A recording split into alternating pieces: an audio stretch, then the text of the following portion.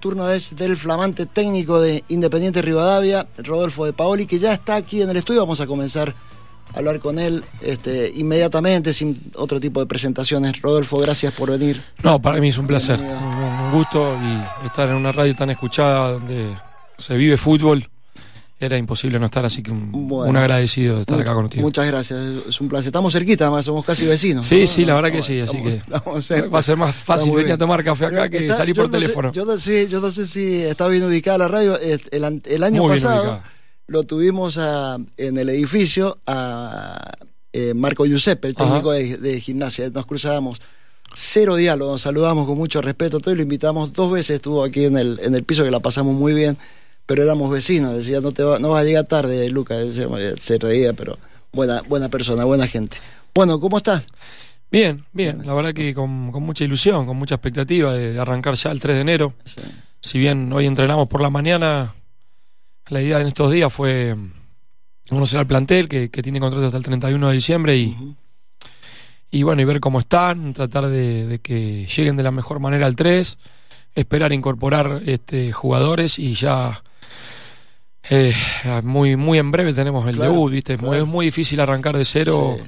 Eh, más allá de que haya una base de un equipo de ascenso, ¿no? Sí, sí, totalmente. Ya nos vamos a meter en Independiente. Yo quiero repasar un ratito algunas otras cosas porque hasta hace 48 eh, horas tu presencia en el país volvió a ser este, imponente, lo te habrás dado cuenta, el 18, este, que es una fecha, bueno, que va a quedar para la historia del, del, de la Argentina, del fútbol argentino y otra vez tu relato este, recorrió el, país, ¿cómo lo experimentaste? ¿Cómo lo viviste? Y la verdad ¿Tenían recuerdos? No, la verdad que eh, volví a ver el partido anteayer por la noche, fue que lo dieron de vuelta. ¿Con tu relato? Sí. no, había, no había visto absolutamente más nada, más que algún, algún resumen, obviamente. El relato de los goles, este, pero entiendo, creo que un año después entiendo por qué la gente me, me, para en la calle, me agradece. Yo un poco estuve un poco apartado en el Mundial, si bien estuve en Qatar, no lo viví como lo vivió el público este, en familia acá en la República Argentina y entendí claramente que, que fue un hecho histórico, conmovedor, emocionante y que obviamente los jugadores estos han quedado en la historia, han hecho emocionar a un pueblo y entendí que claramente ahora sí por ahí desde un lugar, no es modestia aparte, pero sí entender por qué tanta, eh, tanto mensaje al corazón. Y evidentemente les transmití eh, lo que estaba viviendo ahí en el lugar de los hechos. Sí, viste que en el fútbol se habla de sociedades, pequeñas sociedades dentro de los equipos y vos hiciste una sociedad este, con Ariel Senociaín que fue impresionante, ¿no? Lo de Ariel fue un lujo tenerlo como compañero. Bueno, son ocho años. buena gente. Son, sí, es un amigo, es un compañero, hace ocho años ya que trabajamos juntos y, y, es casi imposible que no, nos pisemos o, por más que pensemos en algunas cosas diferentes, aunque la mayoría de las cosas las vemos muy parecidas. Entonces salimos Pero pasa, es lo bueno, es lo bueno de las relaciones, además. Sí, claro, claro, sí, sí. Es lo bueno. Este, con Ariel hace como antes de la pandemia, este, ahí nos, cruzamos en la calle Amigorena, en realidad yo no me hacía muchos años que no lo veía, por lo menos seis o siete años, yo pensé que ni se va a acordar de mí, entonces nos cruzamos y entonces y me paró él. Me dio hasta vergüenza, ¿no? Pero, pero, pero me paró él un tipo absolutamente noble, estamos hablando un rato, este, todo muy de, primera. Bueno, vos, sos este vos sos un tipo de barrio, ¿no? Un tipo de barrio. ¿Nacido y criado en, en, Mataderos o no? No, bueno, crié en Mataderos, nací en Caballito, viví mucho en Flores. Sí, barrios tradicionales porteños. Sí, sí. de la eh, zona sur de la provincia de, la capital. De la, de la zona sur. ¿Y mm. tu, tu, arranque futbolístico? Que me inicié como, jugador. Inferiores, inferiores y primera. sí, sí, hice todas las. el, los baby, el baby fútbol, como todos los chicos. Eh, por, por varios clubes, por Palermo, que en ese momento los chicos de Palermo, así como los de Parque iban para Boca, los de Palermo iban para River. Eh, hubo una cercanía, llegué a jugar el fútbol 5 de River, en ese momento no era nuevo, el futsal, el fut 5, fútbol 5 juvenil, era el Babi el que copaba la escena, eh, pero en vez de irme para River, mi padre había sido presidente de Chicago en el año 81 al 84 y y me llevó a Chicago y ahí hice las infantiles, después, después volví a, Ferro, de Ferro volví a Nueva Chicago, ahí me formé en, Chicago en las infantiles juveniles. Hice todas las inferiores, jugué, llegué a reserva, jugué en, la reserva, tuve la suerte de, ser campeón con la reserva en el torneo de la B Nacional y después debuté en primera ese mismo año. Allá por el año 97. 97. El torneo de la Nacional, que Sí, sí. Godoy Cruz estaba Claro, en ese ¿lo momento. a Godoy Cruz en aquel momento? No, no porque estaba en la zona. ¿Te acordás que entre el 96 y 2000 Se dividía. era inter- la, la- la de fam- mal, mal llamada zona del interior Exactamente. y la metropolitana? Y bueno, Godoy Cruz con el cachorro de Baurro no llegaban ni lloraban. Goles por todos lados. Por- Este, Y así fue que debuté en primera, muy joven, 19 años tenía. Y jugué hasta el año 2000. eh, 2000. un breve paso por Banfield, la temporada 98. Sí. Y después También de la segunda división del fútbol. todo en la B Nacional, Todo en la B Nacional. A nivel primera. ¿Y no te tocó nunca ni Independiente, Godoy Cruz, San Martín? No, No, no, no, no, me- por esas cosas la vida. Sí, Sí, sí, como entrenador los enfrenté a, Claro. a Independiente Rivadavia, pero como jugador no. Sí, sí. ¿Y cuándo dijiste hasta acá? Y allá por ¿Y el, por qué? por el 2002, sin saber que dejaba de jugar, eh, me tocó un día dar, es- especular con quedar eh, sin club. Viajé por Ecuador, no arreglé las, no me gustó las condiciones de trabajo, la- Sí. el contrato, la comisión, el representante. Sí, sí, mm, situaciones donde no me gustaban, por ahí yo tenía una ilusión y una aspiración mucho mayor a jugar, hoy daría mis dos, piernas por jugar en, en el, en el Espoli de Ecuador en primera división. En aquel momento un joven de 22 años por ahí no, no tenía esa conciencia. Claro. Me dije, nada, me vuelvo, voy a esperar la pasaporte, pasaporte comunitario español o italiano y me iría a jugar una segunda española o italiana porque había una posibilidad, tenía un VHS que, Sí, sí. que daba vueltas por ahí. Eh, bueno, también esto de, de ser siempre un poco antisistema, de no tener representante, de para qué representante. Hoy que entiende que el fútbol es profesional, sin Claro, representante no puede claro. salir a la esquina, eh, paradójicamente, y A veces no llegás. o no que Sí, sí. Y no, no digo que haya sido culpa Sí. de eso, no, no, porque digo, Sí. eh, yo tuve la decisión de seguir jugando Sí, y la, la, la aborté por decisión propia, eh, equivocado. Pero también esa posibilidad me dio en el rubro del relato como ra- relator de radio no bajar los brazos ante la adversidad. Como futbolista lo bajé muy rápido. No, no, no estaba preparado para, para los no. Claro. Y me consideraba eh, un jugador muy talentoso que yo tenía razón y los técnicos Claro, no. claro. O- pero no porque no me quieran, sino porque no me ponían Sí, o de titular Sí. o en el puesto que quería. Sí, sí. Entonces jugaba fastidioso, jugaba enojado. Y todo eso me dio un aprendizaje muy grande para, para ser entrenador. En, en el medio, yo siempre decía, cuando sea entrenador esto lo voy a modificar, este técnico me maltrata o nos destrata o, nos, o no nos enseña. ¿Y por qué siempre esto? ¿Y por qué siempre lo otro? ¿Y por qué siempre el parador físico? ¿Y por qué corremos arriba de una tribuna si el fútbol se juega con una pelota? Y esto cuando sea entrenador lo voy a modificar, y así, así, así, Sí, hasta sí, que sí. en el medio, quedé medio en el aire, que, que Ecuador, que México, que me seguí entrenando en el, en el Cefar con los jugadores libres.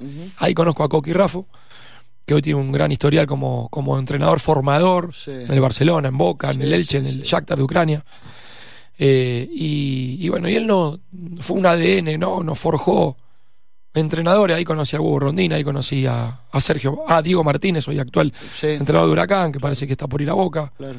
Ahí conocí al Coyo Armandós, ahí conocí grandes muchachos, Fabián Sermaté, mi hoy, hoy- mi hoy ayudante de campo, más grande que yo, eh, al Pipa Gancedo. Ahí, ahí empecé a descubrir Mira. Que eso de entrenador podía tener pasta en base a lo que era Coqui, que era el entrenador que venía con métodos europeos, con la, la escuela holandesa. Sí, sí, sí. Y, y bueno, siempre esas ganas, pero en el medio, sin saber que iba a dejar de jugar al fútbol, eh, un día un, un periodista, Jorge Losauro, comentarista partidario de la campaña de Chicago, me lo cruzo en un café o en una oficina, no sé dónde era que me pregunta cómo estaba, por qué no iba, por qué esto, porque el otro ya había dejado de jugar hacía muy poco, pero sin saber que estaba dejando de jugar. Le digo, no, estoy entrenando con Coqui Raffo, está, Sí, sí, sí. está Marcelo Covistic, está el Turuflor, está entrenando el Yaya Rossi, Pablito Besón, va para 2001, 2002. Y me dice, bueno, ¿por qué no venís a, al programa de radio los lunes y hablas de- del equipo? Le digo, vos estás loco. ¿Cómo voy a hablar mal de mis compañeros? El año pasado eran mis compañeros. Y es cosa del destino, ¿no? Porque yo jugué en Chicago hasta, hasta el 2000 y Chicago ascendió en el 2001 a primera, Mira. por un año. Y, y bueno, chicos que por ahí, como Juan, Juan Huerta, el chico estudiante de La Plata, Carucha Fernández, chicos que, que por ahí surgían de abajo y yo era el capitán Claro. de la reserva de ellos, más referente. De golpe yo tenía que relatarlos y observarlos, ¿no? Era una sensación durísima, Sí, sí. durísima y rarísima. sí. Y le dije, no, yo si querés, practico un ratito relato y vas a ver que soy mejor que todos los relatores que tenés ahí. ¿Le dijiste? Sí, medio, medio enojado, medio, medio en broma, más enojado que. Y bueno, esa misma noche me puse a, a practicar un, un gol con un grabador Mira. y se lo pasé y le gustó. Bueno, fue, muy- fue todo muy de un día para otro. comencé a relatar la campaña de Chicago allá por el do- fines del 2001, principios del 2002, y en un año me presenté en concurso de Radio Mitre, porque el diario Ley y Radio Mitre buscaban relatores, no se sabía bien cómo era. Claro. El sponsor de la, la publicidad era Crespo y Batistuta, Crespo salía, Batistuta entraba. Corea-Japón, y decían los dos juntos pueden jugar, Radio Mitre y el diario Ley se juntaban. Y buscamos dos relatores para hacer la campaña Sí, eh, del fútbol y no se sabía si era de Boca, de River. claro. Y bueno, a mí me, me tocó eh, ser elegido y relatar la Sí, campaña de Boca. una radio que venía de marcar una época con Caldiero, Con después Caldiero con antes, después con Fantino, más atrás Bernardino Veiga, era la campaña, era la radio de Boca. Sí, Y creo que tuve esa suerte de tener el, factor de iluminarme en el momento justo relatando un partido de verano acá en Mendoza, un River Boca, el último del verano 2003. mira. River ganaba 3 a 1, Boca empató 3 a 3. Y yo me puse en modo partidario hincha de Boca para que Boca empate, Boca empató, Boca ganó por penales. Y los hinchas me terminan eligiendo. Los hinchas llaman a la radio y dicen, este es el reemplazante, este es bostero como nosotros. Y la verdad no soy ni de Boca ni de River. Claro. eh, y no porque porque no, no me daría vergüenza decirlo, pero realmente soy fanático de Chicago, me crié en Chicago. Y hasta me molestaba que los de Chicago en ese momento sean de Chicago y de Boca, de Chicago y de River. Sí.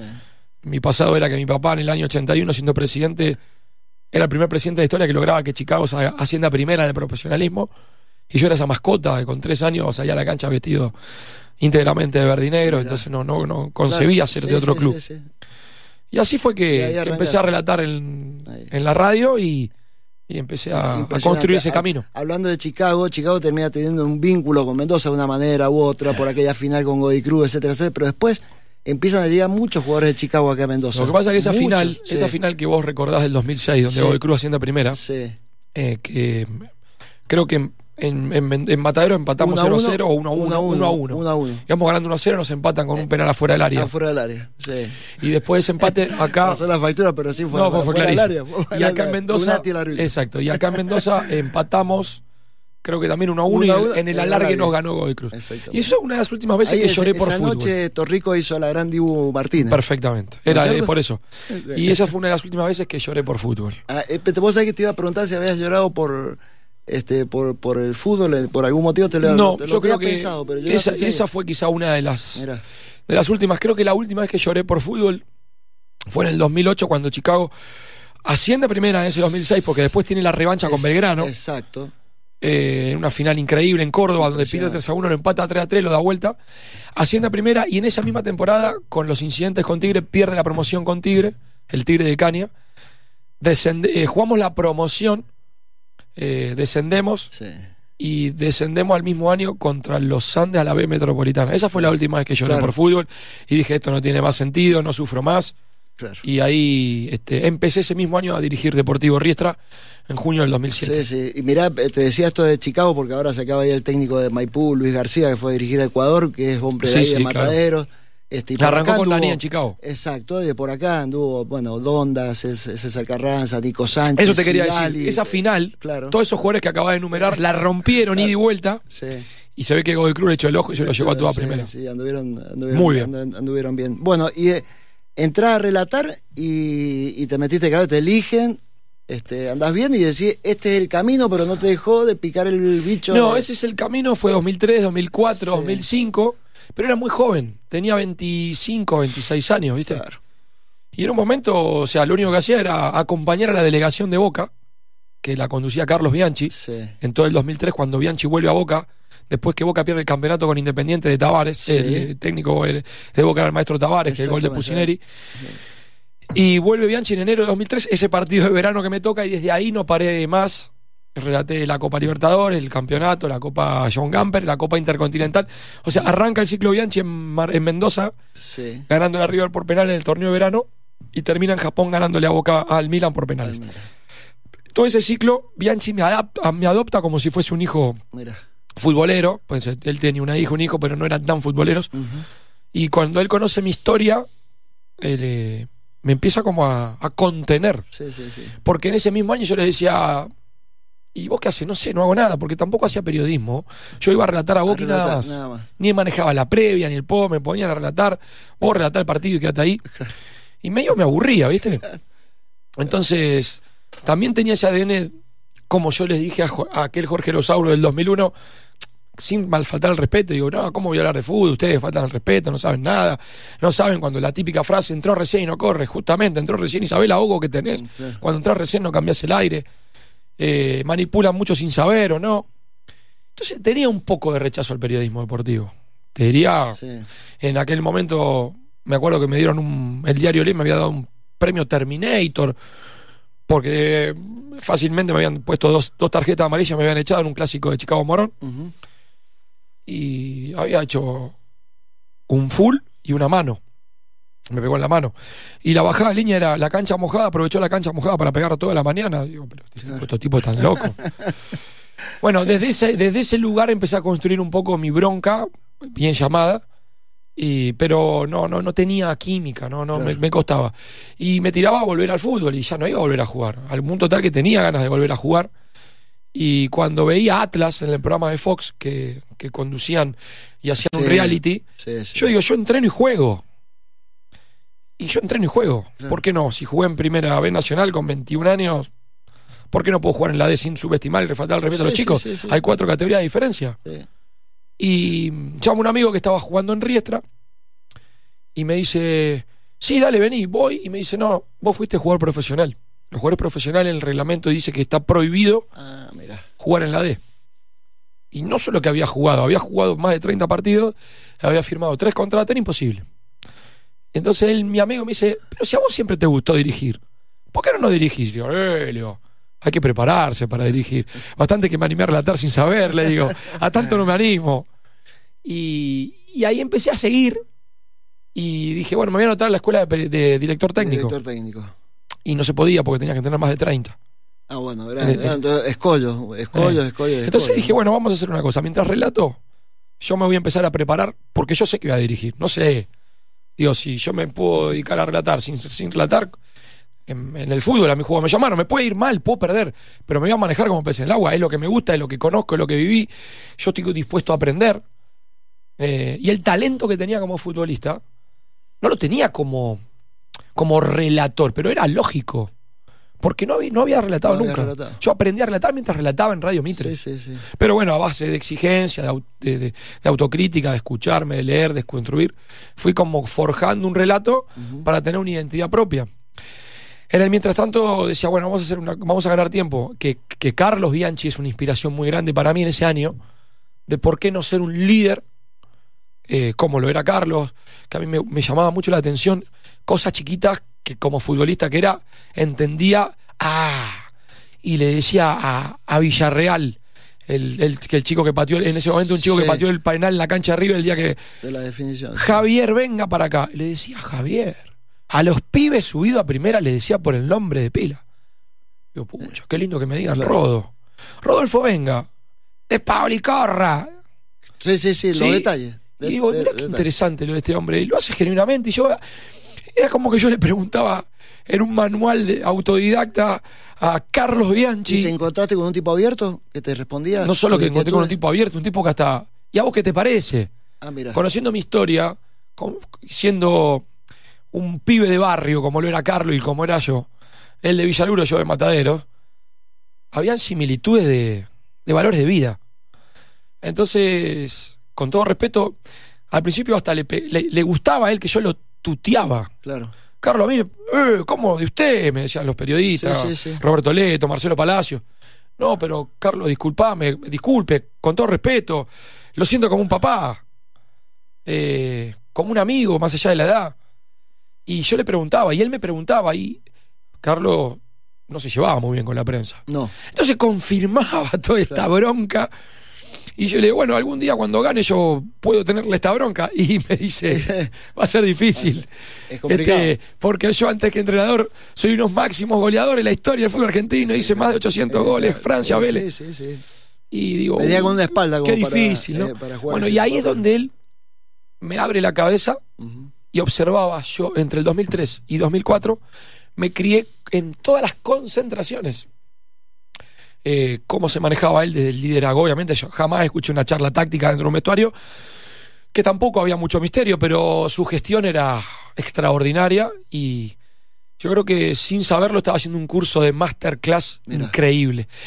Paralelamente, por eso yo digo que me enojaba con los medios, pero gracias a los medios me pude reconstruir para poder ser el entrenador que soy. Eh, los lunes a la noche iban a comer a la raya Roberto Leto y Marcelo Palacios, pero después de comer más tarde se cruzaban a la mesa a la, a la, cena, a la copa de champagne, en la mesa del Coco Basile, la famosa mesa de Chiche Sosa, Mostaza Merlo, Coco Basile. Y tuve la bendición que el primer día que entro a ese restaurante, esto creo que no lo sabe nunca, no lo conté nunca, estoy por empezar a comer con Roberto Leto, el director de Radio Mitre, Jorge Porta, que no me conocía, segundo partido que relataba, entra Alfio Basile, saluda al gerente de la radio, no se lo presenta, dice, ¿cómo le va? ¿Cómo le va? Y antes de que Roberto le presente a que Jorge es el gerente de Radio le dice a Alfio Basile, con esa voz tan particular, vos jugaste al fútbol, nene. Sí, Alfio, no, pero se nota, le dice. ¿No lo escuchaste? Entonces le dice a Eso es un plus, me dice. No, pero a vos te va a ir bárbaro. Te lo vas a comer a todo. Vos jugaste al fútbol. Dos partidos había relatado. Y lo único que hacía era relatar. y eso es como que me dio un respaldazo y un espaldarazo al gerente de la radio que no sabía si realmente. Yo estaba aprendiendo. Terminó y me crucé a la mesa del Coco. Y le digo, Alfio, discúlpeme, Coco, me salvaste la vida, hermano. Le digo, vos sabés. Y cuando le cuento la historia, me adopta mucho más. Mira. Porque los tipos eran. Vos sos de los nuestros, a pesar de que estás allá, bueno, vení que te vamos a ayudar. Aparte era un pibito, 23 años, 24. Y eso a mí me dio un aprendizaje sin saberlo, de decir, no, pero yo, yo quiero dirigir. Y bueno, si tendré que empezar muy de abajo porque no tengo esa espalda de jugador, lo haré. Y cuanto más espalda tenía el relator, más lejos estaba el fútbol. Porque ¿cómo un relator va a dirigir? Claro. Y bueno, me tocó ir a la cola y arranqué en el año 2007 a dirigir el peor equipo en ese momento estadísticamente de la Argentina, que era, paradójicamente, el flamante recién ascendido a Primera División. Deportivo Riestra, del Bajo Flores. Último en la D, último en los promedios, peleando con por no desafiliar sin absolutamente nada, Y ese chico que me dijo venía a dirigir, le hice caso a los seis meses después y empecé a dirigir sin ser entrenador. Entraba con una autorización este, de, aguatero. Sí. Eh, firmando la planilla, de, firmando la planilla de aguatero. Hasta que sí, 27 años tenía. Era el técnico más joven de la Argentina en ese momento. Creo que sube el día, creo que tenía 28 o, o sí, poquito menos, porque ahí. Pero bueno, su día lo hacía como ayudante de campo de, Cravero, después obviamente arrancó. Y mm, era una desventaja muy grande no haber sido futbolista profesional. Sí lo había sido. Claro. No haber sido un jugador consagrado, no lo había sido. Y empezaba a ser consagrado desde el micrófono.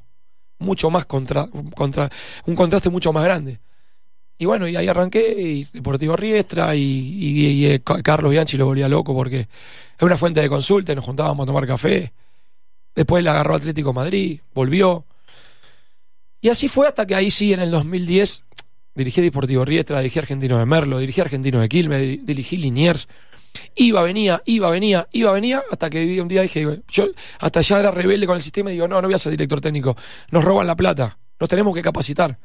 En todo ese tiempo que arranqué, acordate que te dije que comencé en el 2003 en Radio Mitre. Del 2003 al 2007 me la pasé recorriendo entrenamiento y hablando con entrenadores y preparadores físicos. O sea, yo estaba bastante, mucho más, mucho más preparado para dirigir Riestra que para relatar a, Boca en Radio Mitre. Claro. Y así arranqué. Y este, bueno, hay un popurrí ahí, hay una mezcla de, de, de entre el, tu destino, tu carrera, para dónde sí fue disparando tu vida, este, y también una búsqueda tuya, porque ahí hay, este, estabas en el convencimiento de es por acá, es por acá, fuiste probando, pero siempre dentro de, del fútbol. Del fútbol. Siempre dentro ¿Sabes lo que pasa? Eh, solamente los que alguna vez jugamos al fútbol de verdad, sin desmerecer al resto, los que alguna vez nos vestimos representando un equipo importante y jugamos por televisión y vivimos la dificultad de lo que es concentrar, quedar afuera, ser suplente, lesionarse, el periodismo partidario, el periodismo nacional, la barra, el dirigente, el representante, el ganar, el perder, el empatar, el pelear el título, el pelear el descenso, el entrenar. No sos exfutbolista. ¿Por qué? Porque el que es médico no es ex médico. El que alguna vez fue ferretero no dice ex ferretero. El que alguna vez fue este, abogado no dice ex abogado. Y nosotros tenemos la desgracia que por una cuestión de edad somos ex futbolistas. Cuando quizá entendemos mucho más y somos mucho mejores que cuando comenzamos y éramos futbolistas plenos. ¿Qué es lo más cercano a ser futbolista? Si te gusta mucho de verdad el fútbol desde adentro, ser entrenador. No hay mucho misterio. Por más que después te pongan aire acondicionado, un traje, una corbata y desde el sillón de Rivadavia expliques al televidente cómo tuvo que controlar la pelota. Seguramente lo podés hacer muy bien. Pero el fútbol, lo sabemos, pasa por otras dificultades. Te tiene que gustar mucho. Y a mí, todas esas desilusiones, esas frustraciones, esas angustias, esos fracasos, me llenaron el alma para algún día ser entrenador, y ayudar a los Rodolfos que no los ayudaban. Ejemplo, bueno, de Pablo usted va a jugar de tres. Y vos jugando de tres, siendo número 10, pasas el ataque y es mucho más fácil todo. Y pasas el ataque, te gameteas a uno, a dos, tiras el centro, gol. Volvés a pasar el ataque, te gameteas a uno, a dos, gol. Y te saca el técnico porque el equipo suplente le está ganando al equipo titular 2 a 0 y vos sos la figura de la cancha. ¿Por qué te saca el técnico? Porque le estás quemando los papeles al equipo titular. Y digo, por estas cosas yo quiero ser entrenador. O porque venga otro técnico y me saque o me eche porque me pongo a hacer jueguito con un cono y todos aplaudan. Y digo, esta es la esencia del fútbol, no me arranqué la esencia del fútbol. Y eso es un poco lo que me fue llevando a luchar ante la adversidad. en aquellas primeras charlas técnicas, este, de, sacaste porque hay que estar también frente a un plantel y dar indicaciones cuando estuviste del otro lado de la vereda, cuando diste tus inicios en el, en el relato, sacaste un poco de, cada lado de tu experiencia como para decir, porque tu primera vez en aquella primera charla técnica no debe haber sido sencillo, capaz que lo hiciste con naturalidad, no, pero debes haber recorrido algo especial. Por no, fue, fue muy... Eh, me lo acuerdo perfectamente, fueron con los chicos de Deportivo Riestra. Sí mucha ansiedad eh, por eh, demostrar que yo era uno de ellos, pero que a la vez yo tenía que ser el que, entre comillas, mandaba, ¿no? Porque los que mandan son los jugadores. Nosotros conducimos, ¿no? Hay, un liderazgo del lugar de jefe y liderazgo del lugar de la empatía, porque es un. Como yo alguna vez compré un libro en España que decía: entrenadores, un poder inestable. O sea, sos jefe hasta, un, hasta dentro de un ratito. Y y ser entrenador y líder desde el resultado es absurdo porque vas a ganar y perder lo mismo que el resto. Eh, y me acuerdo que la necesidad era demostrar que yo era uno más de ellos. Paradójicamente, si bien eh, eran chicos que no tenían mucha historia en el fútbol, de hecho eran juveniles la mayoría, no dejaban de ser futbolistas que tenían los sueños de jugar en primera y yo era un relator de, de Radio Mitre, de Fox Sports, ya, aparecía por televisión, ya había trabajado en Fox, relataba el fútbol de Inglaterra los domingos a la mañana, relataba el fútbol de México. Y era inevitable que los tipos me digan, pero vos no sos el de la tele. Claro. Eh, y bueno, y me sacaba el traje, me ponía el short y jugaba fútbol técnico con ellos. A veces me ganaban, a veces les ganaba. ¿Y sentiste que tuviste que sortear algunos prejuicios también de eh, Sí, duraba 10 minutos. minutos. Los prejuicios eran para los, para los medios, que te destruían y que estabas obligado a ganar más que el resto, con lo que, con lo que eso conlleva ganar en el fútbol. Pero también entendí que a medida que iba creciendo cada vez más como periodista barra entrenador, me queda muy grande la palabra periodista, ¿no? Porque realmente no lo soy y porque no lo digo con orgullo, sí soy un relator, un relator. y de fútbol. No me animaría ni un minuto a relatar otra actividad, porque desconozco el reglamento y porque no entiendo absolutamente nada. Eh, y eso me llevó a mí a decir, pucha, cuanto más relato y mejor relato, más lejos estoy de, mi verdadera pasión, sin renegar de esto que me da hoy, no solamente de comer, y me da también, si yo hoy mañana, me muero, yo dejé algo en la vida que fue ser el relator de la selección argentina en los últimos ocho años. O sea, me puedo morir tranquilo en el objetivo cumplido. Pero yo cuando llegué al mundo, esa película que de Disney de, los de los dones, sí. bueno, mi don es el fútbol. Es tan grande el don en el fútbol que por algo jugué, por algo relato, por algo entreno. Sí, sí. Y bueno, y lo más cercano a ese. Como decimos nosotros, es un bicho del fútbol. Exacto. Es un bicho del fútbol. Tal cual. Y vos, eh, ¿crees de lo.? Yo soy un convencido que, más allá de las cualidades del técnico, eh, que siempre va atado a los resultados, lamentablemente, va de un fútbol donde este, es una silla eléctrica el banco de suplentes para, para el técnico, es determinante que el jugador le crea al técnico. Determinante, es determinante. ¿no? Puede, ser el mejor de todos en, el armado táctico. Totalmente Pero capaz que no le llegas con el mensaje y pero no te crees. ¿Sabes cuándo te crees? Te voy a decir con una angustia y una tristeza. decime. Cuando ganas. Si no ganas, no te crees. Y te lo digo yo como jugador que fui. Y te lo dicen los jugadores. tema, Y es doloroso. Pero pará. Si hay tiempo, hay una lógica. el problema del fútbol no es que no solo no tiene lógica. Ya de por sí tiene un grado de azar, pero sobre todas las cosas no resiste proceso. Entonces, si no hay proceso, todos somos más o menos igual. Claro. Porque si vos sos el mejor conductor de la historia, pero te ponen cinco minutos y mientras estás hablando te meten piquete de ojo y te sacan. Viene otro que no te llega ni a los talones y le hacen lo mismo. No, no puede distinguir el, tele- el dueño de la radio si vos sos tan bueno o no. Sí. Eh, Tiene que haber un proceso inevitable. Ahora, obviamente, si vos estás tres, cuatro meses, jugaste die- más de 10 partidos, no haces goles y perdés los nueve, bueno, ahí ya por sí solo habrá resultado. Sí. Pero de golpe que tenga una racha negativa de tres, cuatro derrotas seguidas, para afuera, una locura. Una locura. Y también para que te crean de que vos decís, bueno, vos hasta ahora en este en el fútbol vos no te tocó jugar así, bueno, nosotros vamos a jugar así. Dice, ¿te está loco? ¿Quiere jugar como el Bayern Múnich de Guardiola? ¿Qué le pasa? ¿No se da cuenta que esto es el Nacional B? Y cuando lo empezás a implementar, si no ganás, lo intentan. Si empatás, sospechan. Si ganás, te creen. ¿Sabes cuándo te creen mucho más? Con el tiempo. Un ejemplo. Un lateral, no me olvido más, Julián Cosi, un jugador que, que hoy está en Villa San Carlos. El otro día me mandó un mensaje. ¿Y por qué recuerdo este, este ejemplo puntual? Porque a mí me marcó a fuego.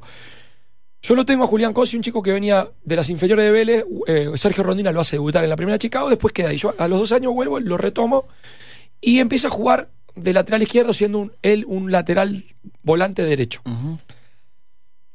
Un jugador con mucha técnica, mucha velocidad, mucha dinámica, jugador claramente con unas condiciones notables. Claro, ya le habían dicho toda su vida, desde las infantiles inferiores de Vélez, primera de Chicago con Rondina, después con Perazo, con quien sea, jugando de lateral derecho, que el fútbol era así, así y así. Así, así y así. Y venga un, loco y te, venga un loco y te cambie al otro lado y te haga jugar así. De está loco. Luchando, luchando, luchando, luchando. El pibe empieza a jugar bien, tiene altibajo. Bueno, justo viene la pandemia y yo me voy. A los ocho meses se reabre el fútbol en Europa con la Champions jugada en un marco muy especial, Muy especial. solamente en Portugal, el playoff. El Bayern Múnich le gana 8 a 2, fue- ¿fue? ¿O 8 a, 8 a 3, 8 a 1 al Barcelona de Messi. 8, 8 a 1. 8 a 1. Una cosa Sí, infernal, inédita, histórica, increíble. Impresionante. Y mientras está terminando ese partido, ese chico me manda un mensaje y me dice, ahora entendí todo. ¿Qué entendiste? Lo que vos me explicabas que yo no lo entendía, o que mejor dicho, no lo creía, yo veo que hoy lo hace el Bayern Múnich. Para mí es una satisfacción Y infinita. ¿y qué te Ahora, el problema de mi relación con él fue que no, yo, yo no tuve tiempo. Te dije que vino la pandemia, fueron cuatro partidos. Claro. Y eso que no perdimos ninguno. El tipo te termina creciendo en el tiempo. Y cuando a vos te dicen de chiquito, no vayas allá que allá hay oscuridad y viene el cuco. Vos te quedás. Y, y sí, no Y si vos un día entras y ves que no hay ningún cuco, y no solamente no hay un cuco, Claro. te están esperando con sándwiches de milanesa, decís, pero a mí me mintieron todo este tiempo. Bueno, es un poco la manipulación y ese es el desafío que uno tiene como entrenador, recordando sus años de futbolista, porque no tengo duda que si Rodo entrenador, que se entienda bien porque hablo en tercera persona, sí, ¿eh? sí, sí. no por, Está- está a ver, para dar el ejemplo. claro. Rodo entrenador dirige a Rodo jugador, no tengo ninguna duda que la carrera de Rodo jugador hubiese sido, Hubiese sido más consagratoria. Y más- o o más muchísimo más elevada Claro. de la de un jugador de apenas 40 partidos en Primera B Nacional. Está, está muy bien, está muy, está muy claro. No me, me quedaría una hora más charlando, charlando con vos. Porque de- te de gusta mucho el fútbol. Sí, me Por gusta. algo sos de- Me- me- me el gusta. termómetro de- del fútbol aquí en Mendoza. No, nos tenemos que meter independiente porque además sé que es una hora de compromiso, está la cena de los campeones. No hay problema, no, la estoy pasando muy bien y estamos muy cerca, así que quede tranquilo. Est- Estamos cerca. Estamos Eh, bien. eh, ¿por, qué le, ¿Por qué le dijiste que sí a Independiente? Ahora nos metemos, mirá, cómo- mirá Sí, el salto que pegamos. no, no, Hubiese porque- querido charlar un rato más de lo, de Porque, porque hay una historia que la gente Sí. desconoce y a mí me da orgullo ser eh, parte de este proceso, porque esto tuvo un principio y no tuvo un final. Y ojalá tenga un final en esta etapa que está comenzando, aunque todos crean que es una etapa de inicio. Esta etapa es una etapa de final. En el año 2016, eh, el presidente de Independiente Río Davia era Agustín Vila. Agustín. Y de tanto charlar de fútbol, Agustín, allá por el 2016, me dijo, ¿y por qué no venís a dirigir? no, Agustín, yo tengo una bebé recién nacida y, no llego a fin de mes y, el canal y parece que ahora fútbol para todos se termina y no sé si voy a seguir trabajando a ese nivel de angustia. Y parece que voy a Telefe, pero Telefe no me quiere pagar lo que me corresponde y mi mujer me quiere matar y estamos alquilando y no me lo vuelvas a ofrecer. Y me puse a llorar, yo le dije que no, me fui llorando. Yo le digo que no Agustín y lloré caminando las 20 cuadras a mi casa de que no podía creer cómo estaba dejando pasar una oportunidad soñaba y, esperada por mí de toda mi vida. Y digo, ¿será que el fútbol no es para mí? Porque ¿cómo puede ser que de chiquito lo único que sabía era jugar la pelota y es, parece una cuestión de destino? Y una vez que se da es por... Bueno, la cuestión que Agustín hizo una gran gestión, el equipo se salvó porque el objetivo era mantener la categoría. hizo una gran temporada, al punto tal que salió tercero o cuarto y recién en la última fecha se salvó el descenso porque habían cuatro veces. Cancha de Abraham de Yo no sabía lo que sufrí esa temporada porque yo, ayudándolo desde afuera en el comienzo de su ciclo, traté de darle una mano de, cómo podía formar el equipo. Después, obviamente, hizo una gestión extraordinaria. Fede Capese trabajaba con él, hicieron un trabajo brillante y Alfredo Berti ni hablar. Lo vino a reemplazar a Astudillo. Astudillo, Martín. En ese interino, en un momento, era bueno, dale, no, sí, bueno, voy. Quedó.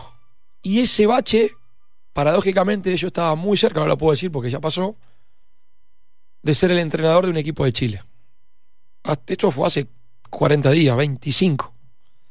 Ese equipo de Chile, si entraba a la Libertadores, tenía automática renovación al entrenador actual de Primera División. En consecuencia, sí, no, blanco, negro, sí, no, blanco, negro. Yo por eso me voy de patronato para, para esperar eso para el año que viene y no hacerle perder a tiempo a patronato. Patronato me dijo, bueno, vos no armaste el equipo, ahora sí, queremos que lo arme para el año que viene. Quedaban cuatro meses todavía porque terminó el campeonato principios de octubre. Y le dije, no, yo no le quiero hacer perder tiempo, estoy muy agradecido a usted. La, verdad que la gente en Paraná me trató con un respeto, un maravilloso, un afecto. Tuvimos de los mejores momentos que viví en el fútbol, ganamos en Copa Libertadores, jugamos la Copa Sudamericana. Eh, fue brillante, la verdad me lo, me lo voy a guardar para siempre. Me voy y cuando estamos por cerrar con este equipo chileno, aparece Agustín y me dice, ¿dónde estás? Y yo no sé por qué, pero estaba seguro que era para esto. Y le digo, mira, no te voy a mentir no te voy a decir dónde estoy y lo que estoy esperando. Ah, que, se define el, que se define el sábado. Pero si yo creo que es, por lo que vos me llamás, con vos voy a la guerra porque te debo una muy grande. Y acá estamos. Acá estamos y, bueno, y ojalá que, que encima en primera, encima en primera. Encima primera, encima primera con todo lo que, eh, que eso significa en el, en el mundo independiente que ¿Cuánto sé que estás llegaste el 7? Llegué el 8 acá, el sí. 8. Sí, la verdad que. 10 días ya habrás notado el eh, termómetro de. Vos viste, vos viste lo que son las relativas redes sociales. El afecto que yo sentí acá. Y el afecto, paradójicamente, que he recibido en las redes sociales, supera lo de Chicago, lo de Patronato, cuando relataba Boca. Al nivel, te diría, de lo que me, las cosas lindas que me dicen como relator en el Mundial. Entonces, ¿Y eso sentí que te va a obligar más? No, no, al contrario. para mí es un mimo al corazón. Para mí es un mimo al corazón. Es un equipo popular. Me siento identificado con la pasión que tiene el hincha de la lepra. Es un equipo que estoy seguro que va a jugar a cancha llena porque lo demostró el último año en que, acaba de ascender. Es un equipo que nosotros, como amantes del fútbol que somos, más allá del equipo que seamos, subir el volumen de la tele y, poner el recibimiento en la cancha y, decir, esto es el fútbol, carajo, la mamita. Sí, sí. Qué lindo es encima tener un equipo protagonista, eh, y esa el combo es completo. Por lo menos este, regalarle una entrega al público desde ese lugar, que se vaya hecho más allá del resultado. ¿Y cuál es tu idea futbolística? Vos, yo, a ver, lo que te quiero preguntar es esto, eh, porque es una lucha para mí. Eh, y yo creo que te veo el perfil de que no vas a mentir, de que no mentís después de los partidos. De hecho, te he escuchado después de, con enojos o con tranquilidad analizar este, los equipos que has dirigido cuando, cuando te han puesto un micrófono. Eh, ¿Vos le contás a la gente el partido que ve la gente o el que ves vos? Cuando termina. Porque, viste, hay veces que nos encontramos con declaraciones, tuvimos 30 llegadas. No. Llegamos, y, ¿viste? y nos miramos entre todos, la gente, los periodistas, todos, y decimos, ¿dónde están las 30 llegadas? ¿Viste? Porque 30 llegadas te incluyen 25 haber cruzado la mitad de la cancha. Yo le cuento a la gente lo que humildemente trato de ser lo más objetivo de lo que pasó. Ahí está. Si él, él mira que está Pedro acá, que si él sigue la estadística de arriba grave el partido, me va marcando y me dice, mira, no pateamos al arco. Yo voy y lo digo, no pateamos al arco. Claro sin matar a nadie. ¿eh? Sí, sí, sí, no, no, no, hace falta, no, hace porque aparte, porque aparte, a ver, acá la así como te digo. Aparte que no es mucho acá, jugamos bien, jugamos mal, eh, la cosa, el rival fue superior. Pero a ver, ¿qué te dije? Conté, conté mi historia y, vuelvo a lo que te venía diciendo. Por no tener autocrítica, rompí un talento increíble, ahora lo valoro el triple como entrenador que yo tenía como futbolista. Por tener mucha autocrítica y saber que no me iba a alcanzar si no era exigente conmigo mismo, llegué a donde llegué como relator. ¿Cómo me voy a engrupir después de esa experiencia que viví como futbolista y relator en esto que ya es totalmente mi vida y, donde aspiro a lo máximo. Totalmente. No, no, es que además Vos, vos, estás en la cocina del fútbol, hoy como técnico, como relator, todo, y en, los ambientes, todos nos conocemos, sin tener que hablar de uno, de otro, todos nos conocemos. ¿Sabés quién? El que está metiendo un chimichurri, quién está metiendo un poquito de humo, quién está hablando para la popular y quién está hablando la, realidad. Por eso te, te, preguntaba de este perfil tuyo a la hora de qué, porque me parece que también es parte, es parte de la convicción que le puedes entregar a la gente y que te compre lo que vos estás diciendo, ¿no? Porque, si no, aparte después los jugadores tampoco terminan Claro, exactamente. Vos sos esclavo de, tus propias palabras dentro de lo que decís todos los días, de lo que decís y lo que haces. Si yo le digo a los jugadores juguemos como Manchester City y después a la hora de la verdad le digo que la tiren larga, no te creen. No te creen, no te creen. Por más que la tiren larga igual, ¿eh? No te terminan de creer. ¿Cómo juega un equipo de Paoli armado por De Paoli, como va a ser este, no? Porque este, a ver, bueno, estamos luchando. Estamos luchando. Estamos luchando mucho para, que para que sea armado por el Te voy a decir algo. Es la primera vez.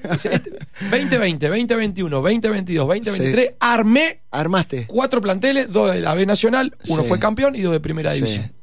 ¿Sí?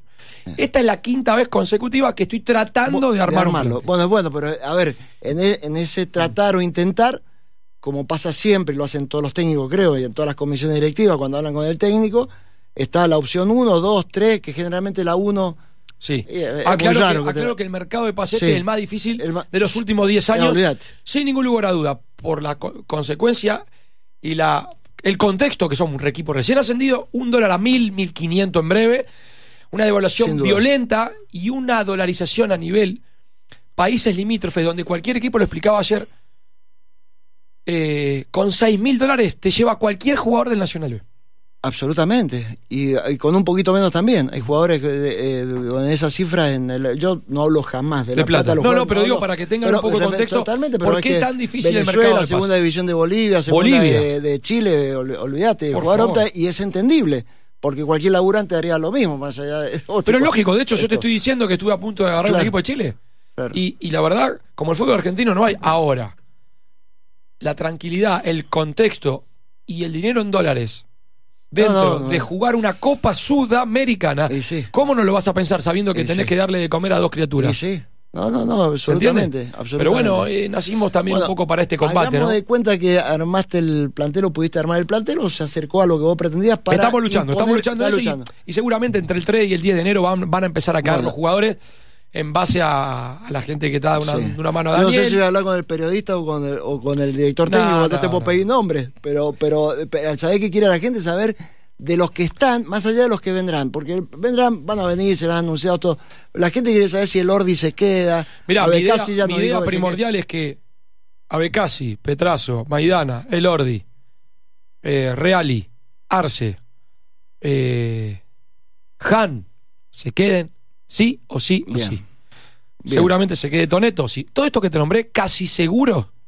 Perfecto. Sacando Arce, que si viene una oferta es lógico, el club tiene que vender. Absolutamente. tiene que recuperar el dinero. Hay una inversión muy grande hecha por la gente que ha colaborado y sigue colaborando de La Plata y está haciendo un gran trabajo. Hizo, un grandísimo para trabajo. para, el, para el club y para el jugador. Este, ¿Qué te voy a decir de, de la gestión de Daniel? Que es no por querer quedar bien, pero queda la evidencia de que tiene dos ascensos y que cuando el tipo se involucra en el club, al club le cambia la vida.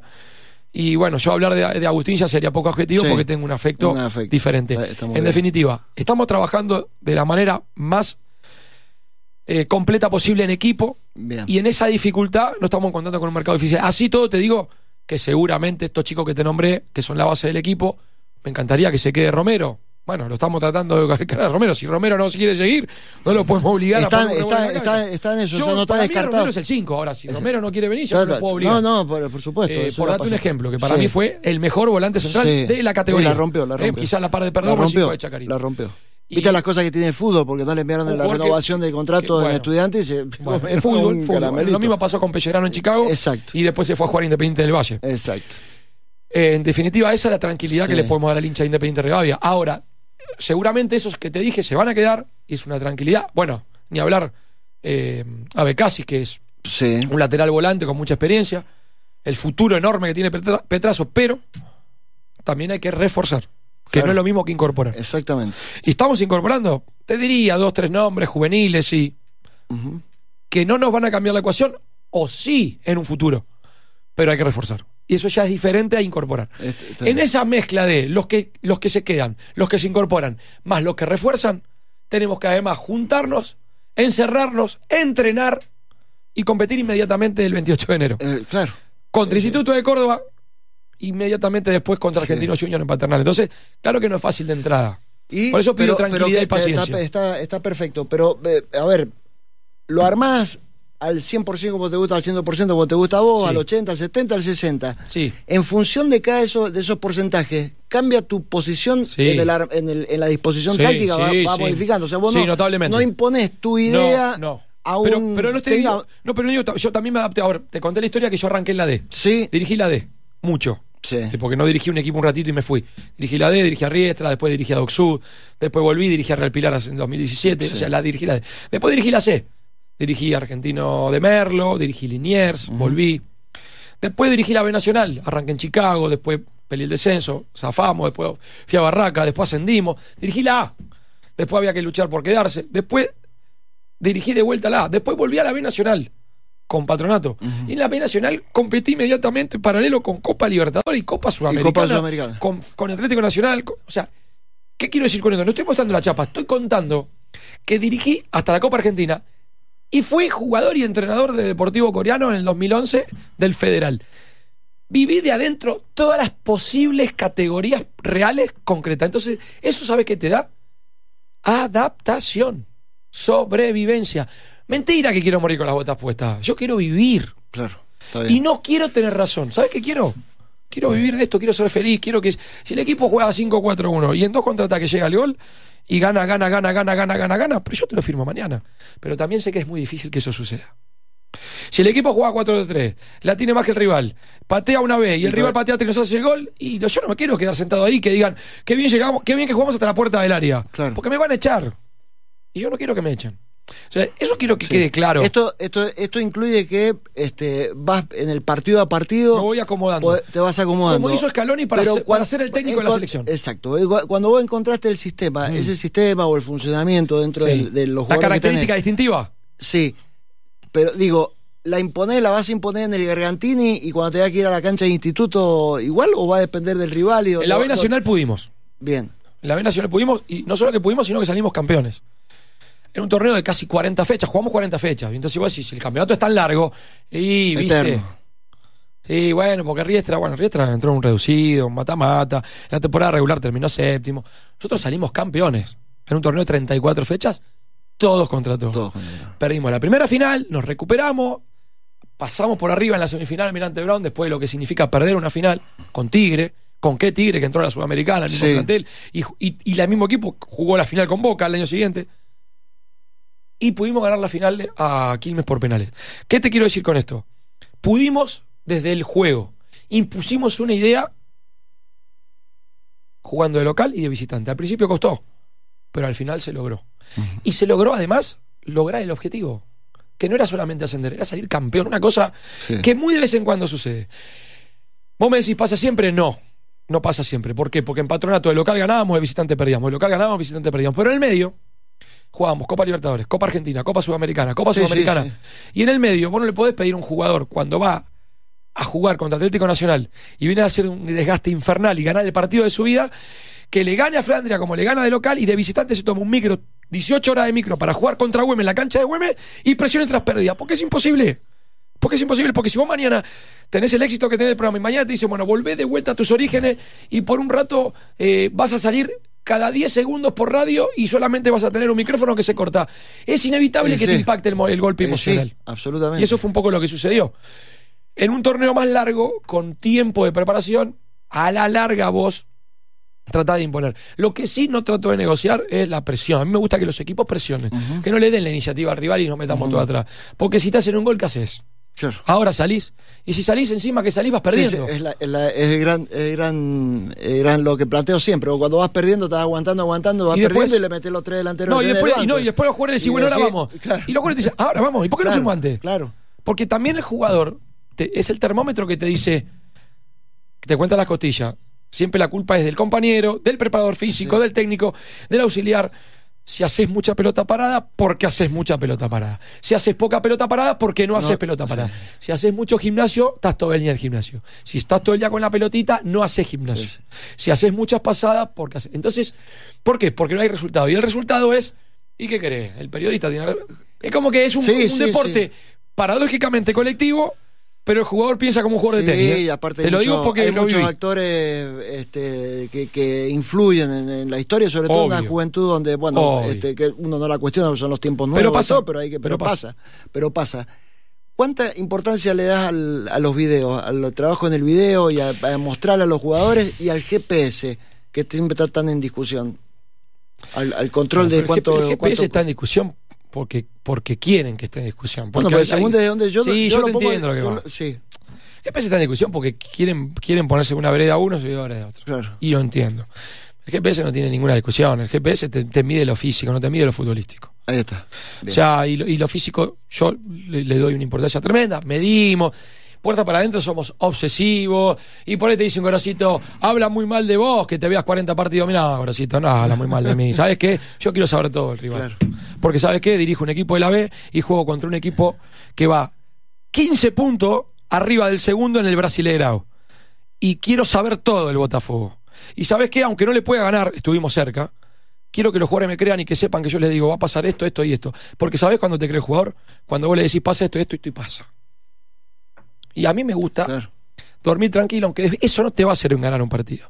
Ahora, que yo le muestre 40 partidos a los jugadores, no. Que yo le hable todo el tiempo a los jugadores de, de 20, no. Yo, puerta para adentro, sí.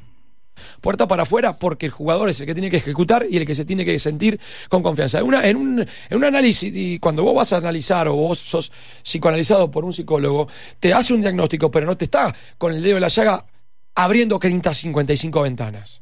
Y el psicólogo lo sabe. Claro. Porque tiene que encauzar al tipo, ¿no? Sí. Pero eso, a mí, ojo, a mí me gusta, ¿eh? No, no lo veo como un, qué laburante, mete el dron. Y qué normal eso. Y los GPS. está, muy bien. Pero no pierdo nunca de vista la esencia de que el que resuelve es el jugador. Y el jugador no tiene que volver loco para que piense. Le tiene que dar la confianza para que fluya. Porque el jugador es el los conocimientos y los conceptos de eh, Porque si el jugador se siente cómodo, no presionando arriba, juega atrás, papi, dale, si vas a jugar vos. Y este es el jugador que yo tengo. Ahora, cuando a vos te dejan elegir un perfil, por eso yo, eh, eh, en este tiria y alguno dirá, eh, pero acá mandan todo y vos tenés que dejarte ayudar para armar el equipo. No, primero se arma el vestuario, muchachos. Si vos no armás vestuario, no armás plantel. Si no armás plantel, no armás equipo. Si no armás equipo, no armás estrategia. Lo inicial, el ADN es el vestuario. Cuando el vestuario, el vestuario es el que, que convive realmente con el día a día y si ese no está tranquilo, esa parte de la estructura no está tranquilo, te sopla la armonía. Y, hoy ganás, mañana perdés. y eh, cuando es un cable pelado. ¿Sabes qué pasa? Que el vestuario es el que te fortalece la adversidad, porque en algún momento va a haber adversidad y que estar preparado. Claro. Bueno, hay que estar preparado en las adversidades y también en el éxito. ¿No? Para, para poner la, para, viste, en el éxtasis de tres partidos, cuatro partidos. es un fenómeno ni sentir que cuando eso es un, un, gil. Lo que pasa es que, por ejemplo, el otro día fui a un programa y un periodista me dice, ¿considerás que tu paso por patronato fue un fracaso? Bueno, hay que evaluar qué es fracaso. Seguramente que fue un fracaso porque no fui campeón. Porque en definitiva se reduce a eso. Pero puerta para adentro, yo considero que en patronato mis equipos jugaron un juego que no jugaron en toda mi historia, ni siquiera este, cuando salí campeón. Y si yo me tengo que morir mañana, me voy a morir en el rincón de los recuerdos, ¿cómo le ganamos a Atlético Nacional y cómo le jugamos empatando uno a uno al mejor equipo de Brasil de la actualidad? Eso fue impresionante. Y eso no, se, eso no, eso, no tiene precio, porque yo te puedo decir a vos en un café, y fi, pi, pi, pi, y vos me decís, pero te lo muestro, terminó, pasó, mirá. Y eso a mí me va a dar la credibilidad que cuando nos juntemos el 3 de enero, y se junten los chicos nuevos y digan, miren, vamos a hacer esto. No se puede. Sí se puede, miren. Pudimos hacer más de 500 pases en el Nilton Santos. Y la cancha era de sintético. ¿Vos te acordás lo que se hablaba en la previa de Boca Palmeiras, que el sintético? Sí. ¿Qué queda del resto, muchachos? Si Boca no puede hacer 150 pases por tiempo en la cancha del Palmeiras porque es de sintético mojado, ¿qué, esperamos de Real Pilar? Bueno, dos o tres ping-pong y, te, libero, estoy encantadísimo. te, digo que le he pasado muy a gusto. Gusta, ¿Te gusta jugar con enganche o no? sí, sí, me gusta jugar con enganche. Yo era enganche y, lucho para que existan los enganches, pero bueno, Hoy a veces por ahí... Pero viste que dice que se perdieron y yo Nah, creo que no se pierden, no se, no se han perdido los enganches. bueno, pero los lo que pasa es que te lo, claro, te- eh, el, el tema es lo que le piden al enganche Sí. que hacen que dejen de ser enganche. Vos podés jugar con una línea de cinco falsa, un tapón, un enganche, que sería el, el doble pivot, que ahora le Sí. dicen volante mixto, que Sí. o el famoso interno, que era en me verdad. encanta, eran- me, eran- encanta que me diga ahora le dicen. Ahora Inzaghi, loco y 4-3 más viejo que el fútbol. Y ahora volvemos, parece que inventó Guardiola Me- el fútbol cuando encanta. Guardiola, dicho por él, dice que se, se, ini- se, se inspiró en Brasil del 82. Sí. Entonces. Claro. Y entonces, hay, muchachos, hay una historia, ¿no? Sí, hay una historia. Es eso. Escúchame, venías a sumarte a un. eh, bueno, la gente independiente tenía un sueño. Los grandes, los de más de 50 que vieron al equipo en los viejos nacionales, que vieron a grandes, grandísimas glorias. Todos los jóvenes que soñaban esto que habían vivido los padres, los tíos, los abuelos, todo. y Entonces, es un sueño concretado, llegar a la máxima división. Exactamente. Vos te venías a sumar a ese sueño. ¿Cuál es el tuyo dentro de esta estructura de Independiente? Nada, mi sueño es abrazarme en la mitad de la cancha con los jugadores y con mi cuerpo técnico y con esta dirigencia para cumplir el objetivo de, algo grande. Después veremos qué será lo algo grande, lo algo grande.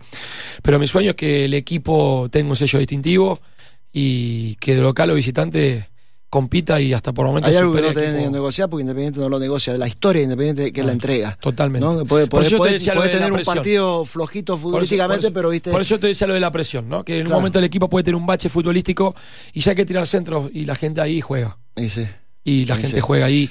Y eso va a ser un plus muy bueno para jugar en el Gargantini. está muy bien. Bueno, esta es la, la última y me anticipo a lo que va a pasar esta noche, que seguramente te van a hacer hablar el micrófono en la cena de los campeones. No, vamos a Te tratar de evitarlo te lo porque van a acercar porque no tengo cena- nada que ver con la historia. No, pero la por una cuestión de Pero respeto. te van a dar las bienvenidas. Sí, Te ojalá, van a dar las y- bienvenidas, y te justamente- todo, eh, y va- eh, lo más probable, capaz que no pasa. No, ojalá que no. Pero eh, dame un anticipo lo que le va a decir la gente. No, no, momento. esto que te estoy diciendo a vos, que estoy muy agradecido por el afecto, porque me paran en la calle, porque me dan ánimo, porque me escriben por Instagram, porque me escriben por Twitter, porque vamos, vamos, vamos a la lepra y, y porque además también estoy muy agradecido al respeto del hincha de Goy Cruz, el hincha de gimnasia, al hincha del Deportivo Maipú. Te ha recibido bien la gente en general. La verdad que, Y bueno, la gente del fútbol. pero yo del creo que, paradójicamente lo que te aleja del fútbol como relator hoy me abre las puertas para que me abracen y me pidan una foto. ¿no? Bueno, pero eso está bueno. Eso es extraordinario. Eso está, está bueno. Y Por fin digo, algo a favor. El, el ambiente del fútbol, el ambiente, digo, jugador, alguno que has tenido y que está, no sé, en Godoy Cruz o Sí. en gimnasia, que lo conoces. ¿Has tenido contacto, te han Sí, llamado, mensajes, bienvenido? sí, sí, sí, lo que De pasa es que- arranque te digo, porque me lo olvidé de decir en el, en el inicio de la charla. Venís a la provincia más bonita de la Argentina. Sin ningún lugar a duda. Eso Bueno, no es por demagogia, Gracias, pero no, eh, No he recorrido la Argentina, pero- he recorrido la Argentina mucho por mi, mi profesión de relator. Sí. Me ha tocado hacer muchas veces este base y no tengo dudas. Bueno, se lo decía a los chicos cuando Sí. llegábamos, le digo, sin desmerecer los, los lugares No, maravillosos que tiene Paraná, la costanera, la país, el pesca, país, sí. Los lindos bares que tiene Buenos Aires, Sí. las caminatas porteñas, pero Mendoza es otra cosa. Sí. Y, y la verdad que sí, que es Sí. hermoso. Y, te bueno, recibió bien el ambiente, eso te decía. eso tiene mucho que ver para que la cosa fluya. Qué bueno. Hay una linda conexión. Qué bueno. Bueno, bienvenido, bienvenido y que sea una estadía larga, prolongada, lo cual significa que las cosas van a estar marchando bien Ojalá. y que disfrutes, que disfrutes lo personal, la familia, venís solo, La familia viene en las vacaciones y las obviamente vacaciones. por una cuestión de colegio y Sí, esta, sí, estas sí. inestabilidades que tiene el fútbol, Está bien. siendo muy chiquitas, posiblemente sigan allá, aunque bueno, cada 15 días jugaremos en Buenos Aires. Sí, sí, y se-. Bueno, vas a darle un beso lo a- a sentiste un poquito en, en patronato, lo vas a sentir acá. Es difícil este, com- competir contra el centralismo. ¿eh? Sí, muy Es difícil. Pero lo vamos a intentar, lo vamos a intentar y, y estoy muy ilusionado de que juguemos a cancha llena y, y que el hincha se vaya lleno de que diga, che, mirá cómo presionó el equipo, mirá cómo intentó jugar, mirá cómo, Qué bueno. cómo entre comillas, con menos más, ¿no? Y eso lo termina construyendo los equipos. Ojalá lo consigas. Te doy la derecha. Bienvenido Dale. a Mendoza. Gracias por venir. Gracias, Gracias, por esta charla. placer, un placer que se enorme. repita. No te vamos a molestar durante el año. No, No, no, molestamos, salvo estoy- alguna que otra nota. Estoy pero, a tu disposición para lo que eh, necesites. Muchísimas gracias. Quería cumplir, la verdad, me, me faltaba hablar con vos. Este, sé el prestigio que tenés, entonces no quería dejar de estar en, en tu espacio. Yo llamé para, para poder venir. Sí, lo sé. Y bueno, soy muy agradecido, sobre todo al respeto y a, y a la charla futbolera. Es muy difícil Sí, encontrar señor. en el periodismo Sí. que te hablen de fútbol. Así Sí, que muy y feliz. además muy tenemos amigos en común, el Germán García Groba, del de con varios, varios personajes. del- Bueno, eh, vos hablaste de entrada, no- no- Sí. el técnico de gimnasia, Luca Marca Giuseppe, tengo una gran relación Mirá. con él, así que seguramente buena. hablaremos Bueno, de Nos eso. unen cosas. Gracias. Un placer enorme, eh. gracias a vos. Rodolfo de Paoli, el técnico de Independiente Rivadavia, aquí en un mano a mano en dos de punta en Radio Andina.